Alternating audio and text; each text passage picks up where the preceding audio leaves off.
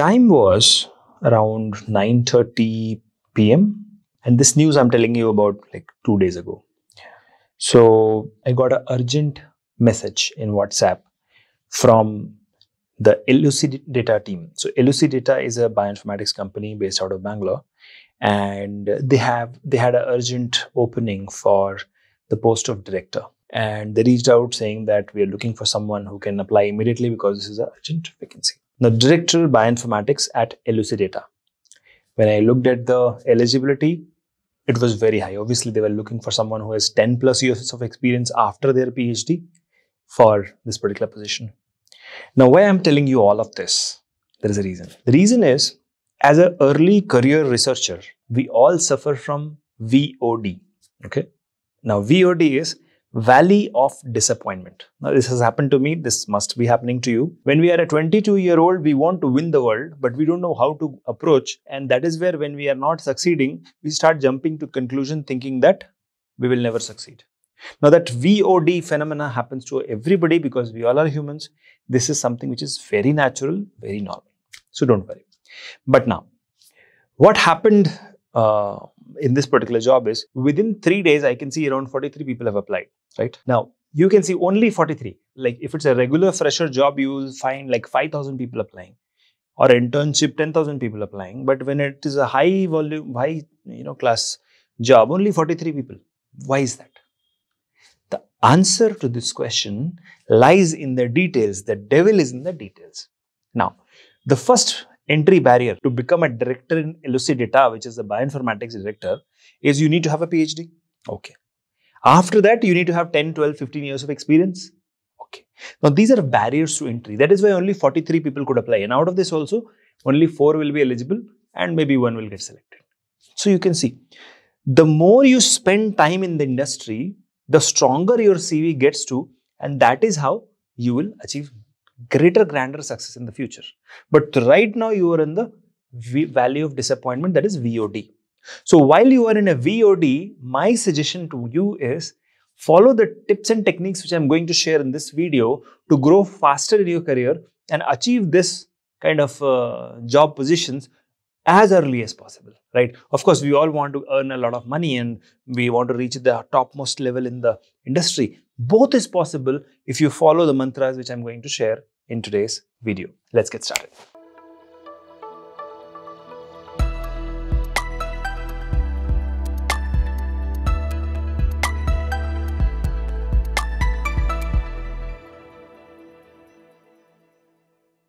All right. So now let's look at the first point which I want to share with you. If I say that if you had invested in real estate in Bangalore, when I came to Bangalore, today you would have been a millionaire, right? You'd be like, oh, is it? Yes.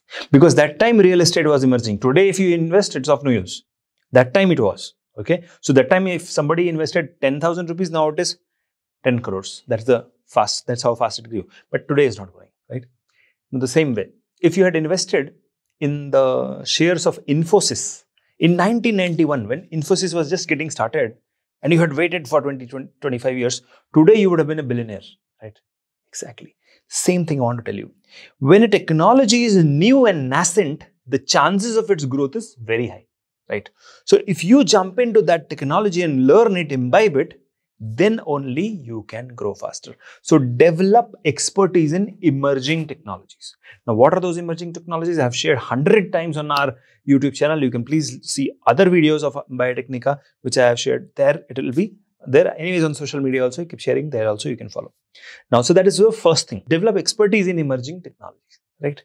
Now, the second point, you see, I realized recently I was interacting with a lot of people. Um, they're all C level, like CEOs and great leaders, but many of them were not as good as me in speaking. Now, speaking is a soft skill. It's not a hard skill. It's not a technical skill. It's a soft skill, right? Now, I could really command that room full of industry leaders because I had great speaking skills, right? Soft skill, interdisciplinary skills. So interpersonality skills, these are skills which are not taught in schools and colleges. These are human behavior. But if you learn soft skills, if you develop your soft skills, nobody can defeat you. So on one hand, you have to invest in emerging technologies, learn emerging technologies such as CRISPR, uh, NGS, and all these latest te- uh, technologies. And at the same time, you have to also invest in soft skills, communication skills, interpersonal skills, your behavioral skills. All this matters a lot because if you are not able to command the room, then the room is going to command you. When you enter the interviews chamber, it's like a pressure cooker. There will be five to seven people who will be throwing questions and you at you, and you will be like a wicket keeper. But if you are able to command the room and answer everybody in a satisfactory way, your job is pakka. And that's something which I wanted to highlight. See, Elucidata director you can become, but if you don't have the um, personal skills, interpersonal skills, and soft skills, you cannot command the industry, right? And any company will not hire you unless you be, you can you have the potential to become an industry leader, and that is where you see Kiran Majumdar Shaw is Dr. Kiran Majumdar Shaw because not of the achievements, because of her soft skills. She can command the industry. She can even command the government at times right? That's her influence, right? She was she's one of the strongest pillars of biotech industry. The reason is her soft skills, right? So soft skills is a, is a must for you. You must learn that. Now coming to the third one, which will be a shortcut to success, is pursue interdisciplinary fields. Okay, if if I am a biology, um, you know, botany candidate, I have to apply computers into botany. Right. If I'm a zoology candidate, I have to apply computational biology. If I'm a pharmacy uh, guy, I have to apply the bioinformatics skills, cheminformatics skills. So, you know, everywhere, wherever you will go, you will need this interdisciplinary approach. I know a person, she is a, a biotech, BTech biotech. And then she went ahead to do PhD in physics. I was like, what, what's the need? She was like, you don't know. If I have the understanding of biology and if I know I'm doing a, a PhD in physics, I can apply the physics principle in biology and achieve something new science is all about achieving something new, right? And that's where interdisciplinary fields are very important. They grow very fast. Bioinformatics is the interdisciplinary field. It grows very fast, right? So yeah, that is where your future lies. That is where you can invest and grow faster. Now let me give you the next tip. The next tip for you is as an early career researcher, when you are like a 22 year old or 24 year old, you are a fresher, you want to jump into the biggest company in the biotech sector or pharma sector. That way you cannot grow. Start with a small company, maybe in a small city. Like if you're in Bangalore, look for some companies in Mysore which can give you a break. Look for some smaller company which can give you the break, right? Once you've got the break, you have gained the on the job experience. You have gained all the experience of teamwork, soft skills, uh, leadership skills, everything. Then you, if you apply for the bigger companies, they'll take you. You see, there is a problem with the bigger companies. They don't want to waste time on spending uh, and training people, right? So they just you know take people who have, who already have experience. How do you gain experiences by getting into smaller companies? Smaller companies hire freshers faster. Okay, so that's one tip I can give you. The next one is again very important. To get into a smaller company, also you need networking. Network strategically. You don't need to network with everybody. Right? You have to network with some specific people in the industry who can take notice. Right?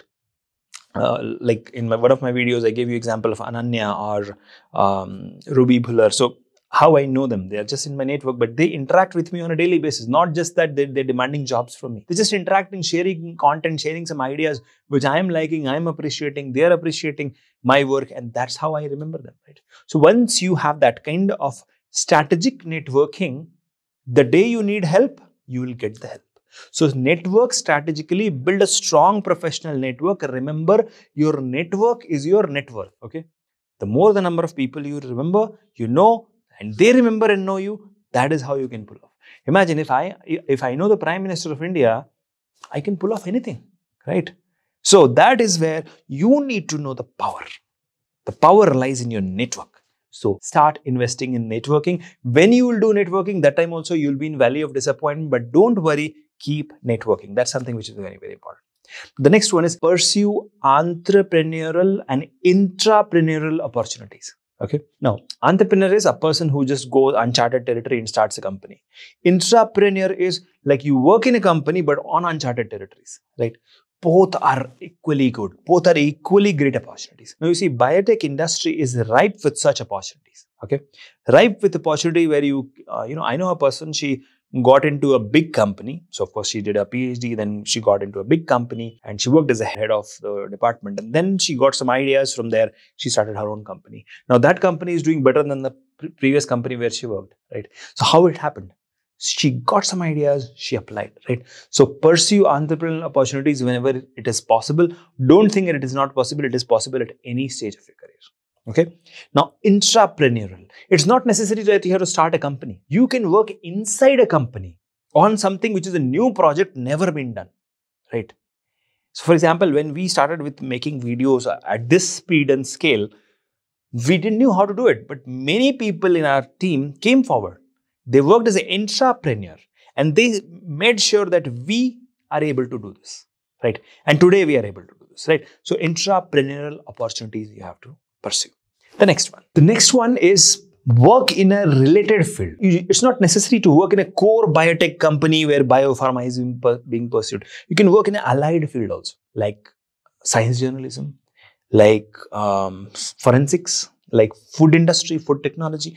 Now, these are allied fields, but they also are a part of biotech industry. It's not that they're not clinical research, right? So you can always be, become a part of those industries, also those branches of biotech industry.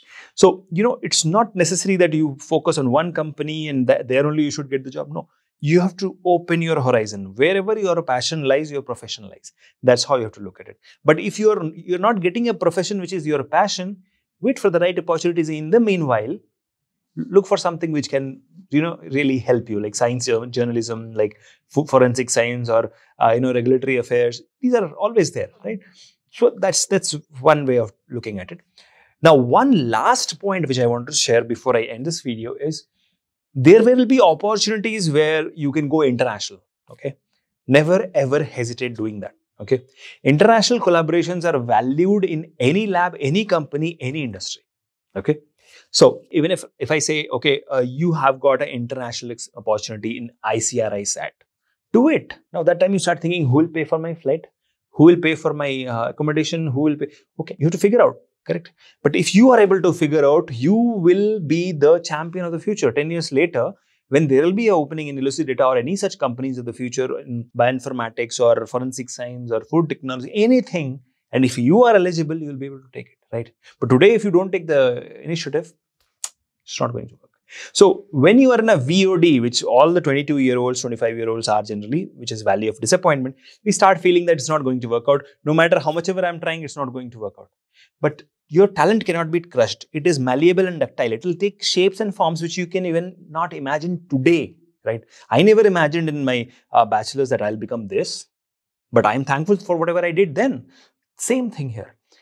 Your talent will just take shapes and forms. Layer by layer, it will grow. So you have to pursue any and every opportunity which comes your way, but be selective. Do less, but qualities should be more, right? It's not that you have to publish hundreds of papers. It's not that you have to go and uh, pursue a career in every field of bioscience. Pay attention to one particular profession, which is your passion. And if you're not getting a profession which is your passion, take a side uh, profession like, like science journalism or something which stays you while you're looking for the main opportunity. So these are the pointers which I wanted to share for all those youngsters who want to grow fast in the biotech industry. I want to remind you that I also had that fire within me to grow fast in uh, the biotech industry. And today also I carry that fire and that's how Biotecnika grows because I don't sit, I don't settle. I just keep moving forward with rocket speed. And that's my message to you. Keep moving at rocket speed because you are unstoppable. All the best.